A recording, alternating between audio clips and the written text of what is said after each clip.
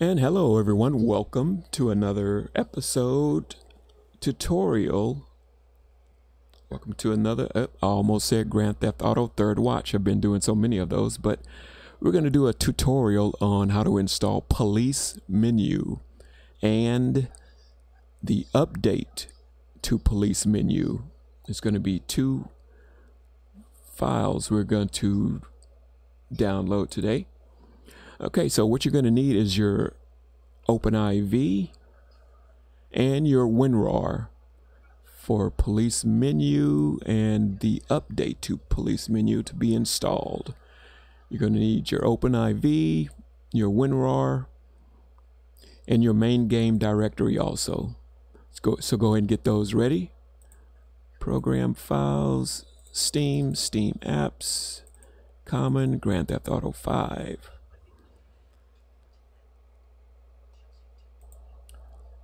Okay, so once you click on the link, it's going to bring you right here to police menu, which is in LSPDFR. And let's go and take a look at some of these pictures.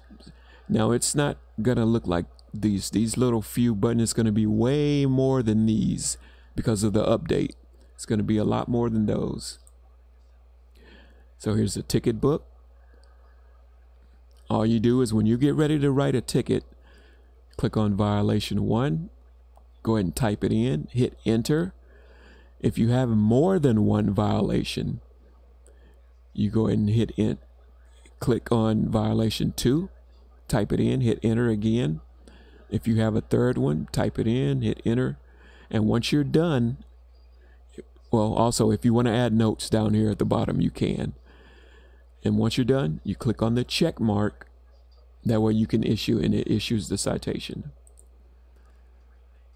And these are the search screens, the ped search. Now we're going to do an update.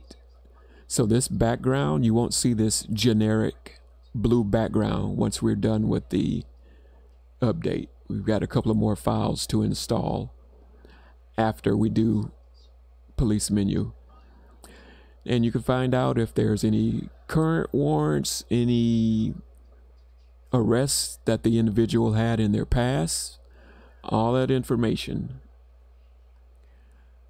Save your citation.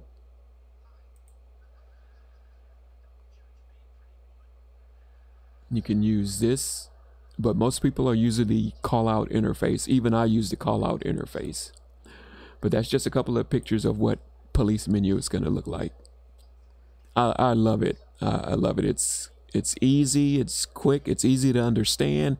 Easy to use. Easy to go through. You can file charges, write tickets. Uh, court information comes through. So it's it's a, it's a good program. So let's go ahead and get started.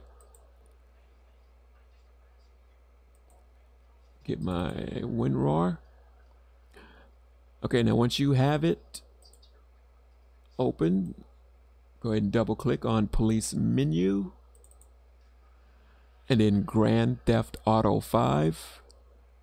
And hold right there and highlight plugins. Make sure you have your main game directory. Again, it's program files, Steam, Steam apps, common, Grand Theft Auto 5. Make sure you have this empty space. Nothing should be highlighted. Make sure there's nothing highlighted. Okay. You're going to highlight plugins, bring it over, drag and drop. I already have it, so I'm going to replace. Now, what you do have to do before you install the new update, you do have to open Grand Theft Auto 5 and actually play the game a little bit.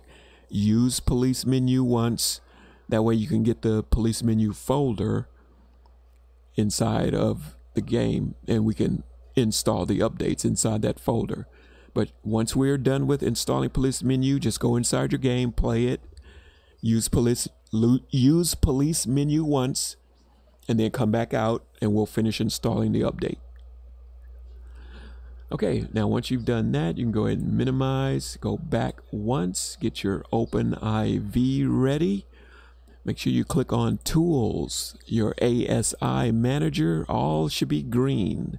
One, two, three, green. If you have any that's blue, click Install. That'll change them all to green. Close that. Make sure you have your edit mode ready. And i am going to give you the pathway. Okay, if you want edit mode to stay on permanently, just click on Tools, Options, Default Work Mode right here. You're going to click the down arrow, change it to Edit from Read Only. That's if you want edit mode on all the time permanently. I don't, just in case I'm not ready to edit something and I accidentally click on something. Then you got to figure out what you clicked on and try to fix it. And that's a big hassle. So let me go ahead and give get ready to give you guys the pathway. It's going to be update, update.rpf. Go ahead click on copy in mods folder or show in mods folder. Time 64. Then you want data. Then CD images. And then you want to look right here for scale form underscore generic dot RPF. Not this one, not number two. You want plain regular scale form underscore generic dot RPF. Go ahead and open that up. Okay. Now back in your police menu, you want to back up one, open IV, and all of these files you want to highlight. Make sure nothing is highlighted over here. Highlight your WinRAR files and drag and drop them. I already have them, so I'm going to wait and let you get caught up. Just highlight all of those files and drag and drop.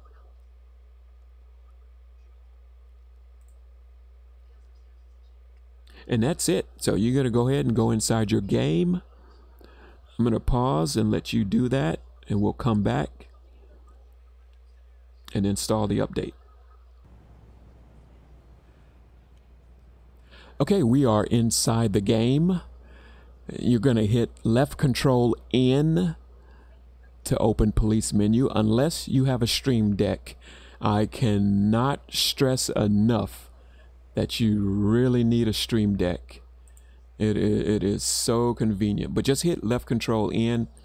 You'll see that menu come up and you can exit out of it. Okay? Now let's go ahead and go back out and install the update. Okay, now once you're back out of your game, we're going to go ahead and install that update. Go ahead and open your main game directory and WinRAR. Program files, Steam, Steam apps, Common, Grand Theft Auto 5.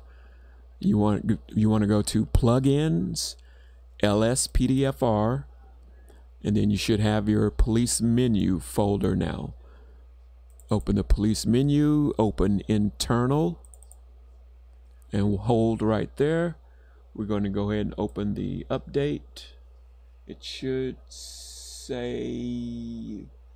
let's see, it should say new updated police menu. So open that, open that again, and highlight both of those files. It should look exactly like the files that are already in the game.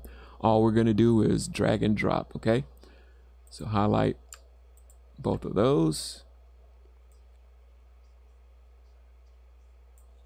And drag and drop and replace. And that's it. That's all there is to it. Okay? Okay, now if you want to change the, the generic blue generic picture that we looked at a few minutes ago, if you want to keep that, that's fine. But if you want to change that, and I'll show you what it what it looks like. This is what it'll look like. It looks like a whole new busy, a bunch of everything going on, uh, a call, narrative, location. If you want that, what you're going to do is go ahead and drag it to your desktop.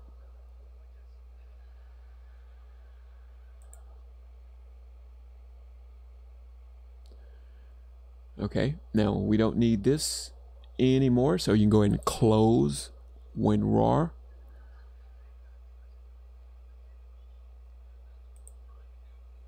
Now what you're going to do is open your OpenIV if you don't still have it open.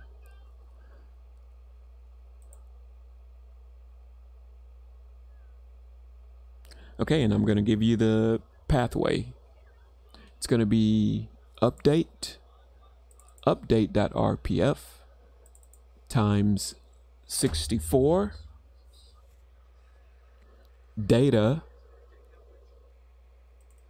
CD images and again you want scale form underscore generic scale form underscore generic dot rpf not number two you do not want number two scale form underscore generic now, all of this is in alphabetical order. This whole thing is in alphabetical order. And once again, I'm sorry, once again, make sure your ASI manager, everything is green. Make sure your edit mode is on. And if copy in mod folder or show in mod folder showed up, just left click. Always left click the one on the left. Okay, now scroll down and look for police menu YTD. It's in alphabetical order, so let's go ahead and find it. Here it is right here. Police underscore menu dot YTD. That's the one we want. I'll give you a, a little bit to find it. There's a lot of files in there.